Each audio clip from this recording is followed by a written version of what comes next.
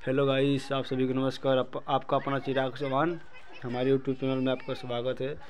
हमें सपोर्ट करें बहुत मेहनत करते हैं गाइस। वीडियो इतना बनाने के बावजूद भी आप लोग हमें सपोर्ट नहीं कर रहे हैं। बहुत दुख की बात है लेकिन हमको सपोर्ट करें गाइस। आज जब मैंने सो कर उठा तो भोजन कर लिया भोजन करने के बाद जब बाहर निकला तो देखा एक पक्षी थी बकुला जो बोलते हैं। वो बकुला मेरे घर के बाहर द्वार पे गिरी थी। तो मैंने गया तो देखा उसको किसी ने मारा नहीं है बट ठंड के कारण से वो गिर चुकी है हमारे दीवार के सामने, आप देख सकते हैं। यही है, जो लाल की है बकुली है इसे बहुत हम छोड़ देंगे इसको, खिला उला कर। बहुत ठंड इसके गिर चुकी है, बहुत बोल रही है। देखिए, मुँह बार रही है, लग रहा है जैसे काट लेगी अभी।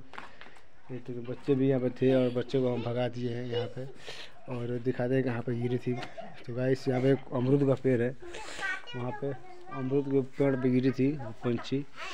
तो जब गिरी तो बोलने लगी मतलब अपने आवाज़ में बोल रही थी तो मैंने जाकर देखा मैंने सोचा क्या है। तो मैंने जाकर देखा तो हमें देखा था ये पक्षी थी बकली। तो मैंने बहुत खुश हुआ, नहीं देखी पक्षी मिली, कुछ ज़िंदा पक्षी, किसी को हुआ भी नहीं है, इसकी मृत्यु भी नहीं हुआ है पक्षी का। तो बहुत खुशी की बात है, किसी हुआ नहीं है, इस पक्षी को किसी ने मारा भी नहीं है, और बिल्कुल सेफ़ है। और उड़ने का जो है कैसे डंक मार रही है, लग रहा है अभी काट लेगी।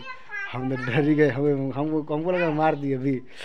लेकिन संजोग से ठीक ठाक है, अभी उसको हम छोड़ देंगे इसको। ये मेरे को बच्ची है, ये बच्ची खिलाने के लिए बहुत परेशान है।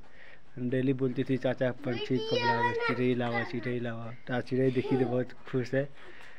तो गाइस हमको आप लोग शेयर करें वीडियो को ज़्यादा से ज़्यादा कमेंट भी करें। आप लोगों को कैसा लगा आज का हमारा ब्लॉग वीडियो आज जो भी कुछ गलती हुआ होगा तो मुझे माफ़ कर दीजिएगा। उतना ढंग नहीं हमको वीडियो बनाने का, ब्लॉग वीडियो।